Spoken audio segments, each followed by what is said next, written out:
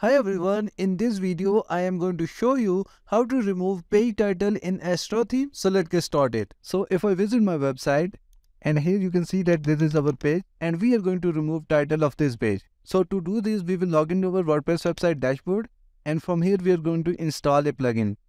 Just over plugins and then click on add new. Here we are going to search for a plugin title remover and we are going to install this first plugin. Click activate. So now our plugin is installed successfully. So to remove the title of any page, we will just hover over pages and then click on all pages.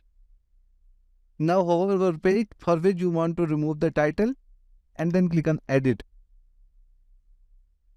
Now from the right menu under the page tab, just scroll down and here you will see hide title.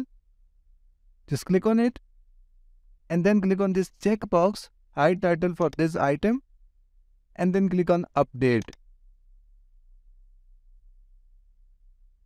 So as you can see that our page is now updated. So in this way your page title will be hidden from your WordPress website. So this is how you can remove page title in Astra theme. Thank you so much for watching the video tutorial. Please like the video and subscribe to my channel.